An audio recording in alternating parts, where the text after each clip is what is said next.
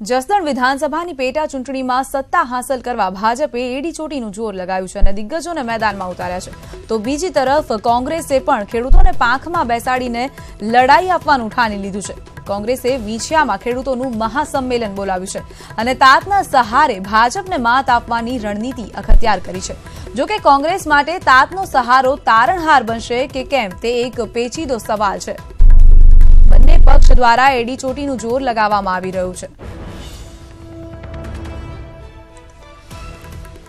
તો ભાજપને ટક્કર આપવા માટે કોંગ્રેસ હવે ખેડૂતોનો સહારો લઈ રહ્યું છે અને વિછિયામાં કોંગ્રેસ દ્વારા ખેડૂતોનું મહાસંમેલન બોલાવવામાં આવ્યું છે. તો ભાજપ પણ તમામ તાકાત અજમાવી રહ્યું છે આ બેઠકને કબજે કરવા માટે. જો કે કોંગ્રેસને ખેડૂતોનો સાથ મળશે કે કેમ તે એક મોટો સવાલ છે.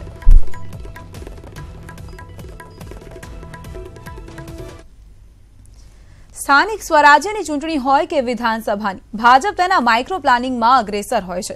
હાલ લોકસભાની તૈયારીઓ તો આરંભી છે, પરંતુ તેની સાથે ભાજપે જસદણ વિધાનસભાની પેટા ચૂંટણી પર પણ ધ્યાન કેન્દ્રિત કર્યું છે. જેમાં એક કે બે નહીં, પરંતુ અઢાર જેટલા સિનિયર નેતાઓની ટીમને અત્યારથી જ કામે લગાડી દીધી છે. ઉલ્લેખનીય છે કે કુંવરજી બાવળિયાએ કોંગ્રેસ સાથે છેડો ફાડીને ભાજપમાં પ્રવેશ કર્યો હતો અને બાદમાં તેમને મંત્રીપદ આપવામાં આવ્યું હતું. ત્યારથી આ સીટ ખાલી હતી. ત્યારે કોંગ્રેસનો ગઢ ગણાતી બેઠક જીતવી ભાજપ માટે ખૂબ જ મહત્વની બની રહેશે.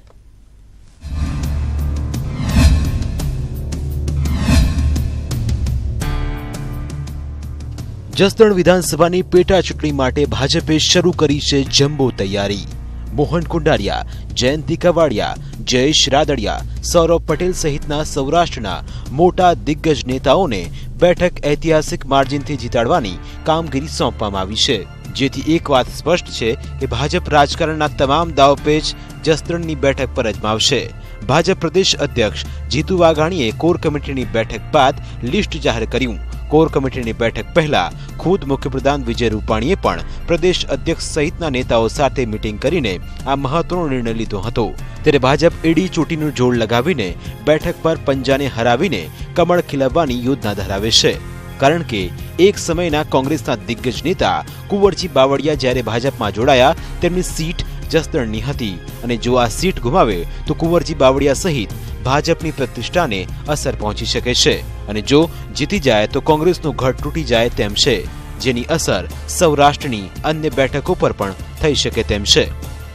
ત્યાં પણ વિધાનસભાનું પેટા ઇલેક્શન આવવાનું છે. ભારતીય જનતા પાર્ટીએ એ પૂર્વે તમામ તૈયારી ચૂંટણીલક્ષી કરી છે. મુખ્ય જવાબદારી જસદણ સીટમાં મોહનભાઈ કુંડારિયા, રાજકોટના સાંસદ પૂર્વ સંસદી સચિવ અને કોળી સમાજના આગેવાન ભાઈ શ્રી હીરાભાઈ સોલંકી બંને મુખ્ય ઇન્ચાર્જ તરીકેની જવાબદારી નિભાવવાના છે. ભાજપની એડવાન્સ રણનીતિથી કોંગ્રેસ સાવચેત થઈ ગયું છે, કારણ કે કોંગ્રેસ ઓગણીસો એકોતેરથી બે હજાર સત્તર સુધી જસદણ વિધાનસભાની બેઠક પર એક ચક્રી શાસન ધરાવતું રહ્યું છે. અને હાલ કુંવરજી બાવળિયાએ કોંગ્રેસને રામ રામ કરતા જસદણની સીટ પર પોતાનો દબદબો જાળવી રાખવો તે નાકનો સવાલ બની ગયો છે. જો કે જે રીતે ભાજપ વ્યૂહરચના બનાવીને આગળ વધી રહ્યું છે, તે જોતા કોંગ્રેસને જસદણની સીટ ટકાવી રાખવા અત્યારથી રણનીતિ બનાવવાની જરૂર પડશે. જો ડિસેમ્બરમાં યોજાનાર ચૂંટણીમાં કુંવરજી બાવળિયાની હાર થાય તો ભાજપના ચાલુ મિનિસ્ટર હાર્યાનો કોંગ્રેસ ઇતિહાસ રચી શકે છે. સાથે જ આ વખતે કોળી અને પાટીદાર જે બંને જ્ઞાતિઓના વોટનું ધ્રુવીકરણ થવાની શક્યતા છે, જેને લઈને ભાજપે અઢાર પદાધિકારીઓની જમ્બો ટીમને જ ચૂંટણીની કમાન સોંપી દીધી છે. ભાજપની જસદણ બેઠક જીતવા કવાયત. અઢાર દિગ્ગજ નેતાઓને બેઠકની જવાબદારી સોંપી કુંવરજી બાવળિયા માટે સૌથી મોટી રાજકીય ચેલેન્જ. મતદારો શું છોડશે? પંજાનો સાથ? કોંગ્રેસનો દબદબો રહેશે યથાવત? જસદણની બેઠક ભાજપ માટે પ્રતિષ્ઠાનો પ્રશ્ન. ગુજરાતના રાજકારણમાં એવું પહેલીવાર બન્યું છે કે ભાજપે એક સાથે અઢાર દિગ્ગજોને એક વિધાનસભાની જવાબદારી સોંપી છે.